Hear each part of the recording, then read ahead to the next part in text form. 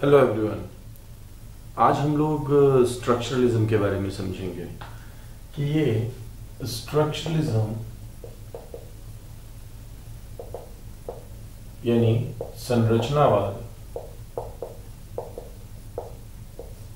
है क्या साइकोलॉजी में? Who is father of structuralism who give the term structuralism where did structuralism came in existence यानी कहाँ पे स्ट्रक्चरलिज्म का उदय हुआ? What are the methods of structuralist structuralist कौन से मेथड का इस्तेमाल करते थे?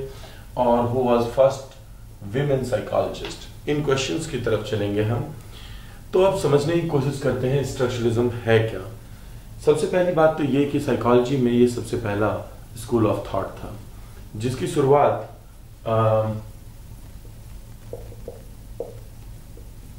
विलहेम वुंड से हुई। जब उन्होंने लीपजिग, जर्मनी में, लिपजिग, जर्मनी में उन्होंने अपनी एक साइकोलॉजी की पहली एक्सपेरिमेंटल लैब खोली। लेकिन विलहेम वोल्ट ने कभी भी अपने आप को स्ट्रक्चरलिस्ट नहीं कहा, बल्कि वो हमेशा अपने लिए टर्म यूज़ करते थे कि वो वॉलंटरिस्ट हैं वॉलंटरिस्ट मतलब कि जो वॉलंटरी वॉलंटरीली स्टडी करे साइकोलॉजी को। उन्होंने जिस मेथड को अपनाया that method was objective introspection अब ये ऑब्जेक्टिव इंट्रोस्पेक्शन क्या है? यहाँ पे खास करके आपको याद रखना है इंट्रोस्पेक्शन ये वो टेक्निक है, यानी कि आत्म निरीक्षण।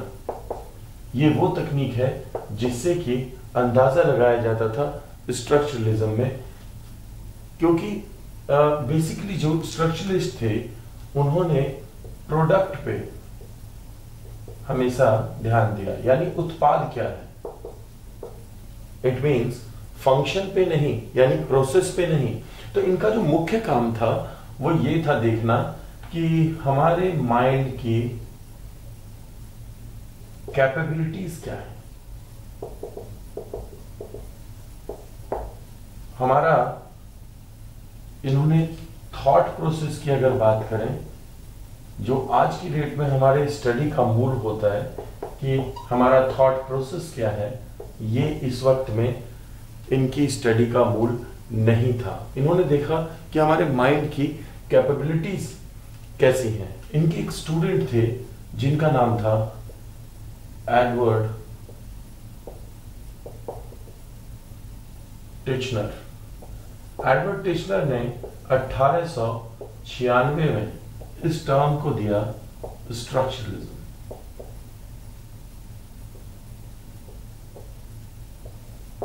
तो अगर कभी भी कहीं पे पूछा जाता है कि स्ट्रक्चरलिज्म के फादर कौन है? Then father of structuralism is Wilhelm Wundt but the term introduced by ये जो टर्म है, इसका इंट्रोडक्शन कहाँ से हुआ? एडवर्ड टिचनर से हुआ।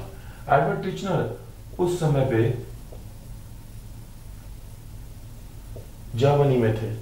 आप लोगों ने फंक्शनलिज्म अगर पढ़ा हो तो फंक्शनलिज्म का उदय यूनाइटेड स्टेट्स ऑफ़ अमेरिका में हुआ था। जबकि स्ट्रक्चरलिज्म um, का उदय जर्मनी में हुआ। स्ट्रक्चरलिस्ट अपनी जो भूमिका निभाते थे वो मुख्य रूप से इस चीज़ में थे कि लोगों को के अंदर क्या क्षमता है उनके दिमाग की। तो इसके लिए वो तरीका कौन सा अपनाते थे?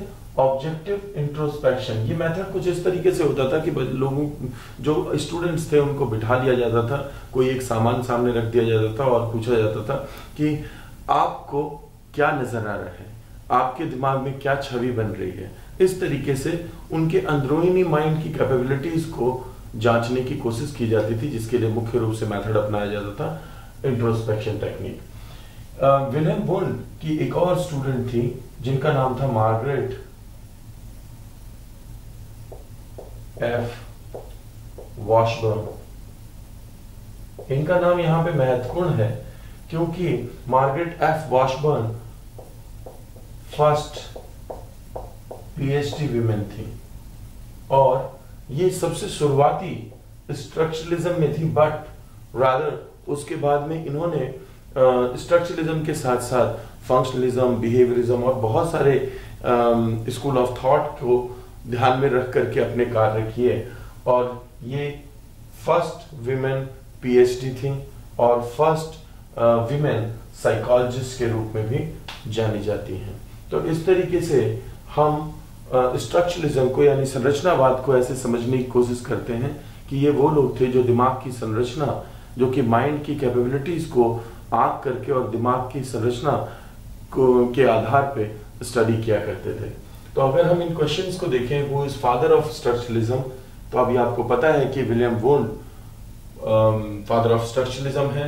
Who gave the term structuralism then Edward Titchener जो कि इनके स्टूडेंट थे, उन्होंने इस टर्म को दिया।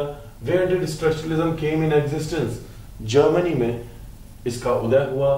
What are the methods of structuralist तो इनके मेथड होते हैं इंट्रोस्पेक्शन और ये क्या खोजते हैं? माइंड की कैपेबिलिटीज की बात करते हैं थॉट प्रोसेस की बात नहीं करते हैं।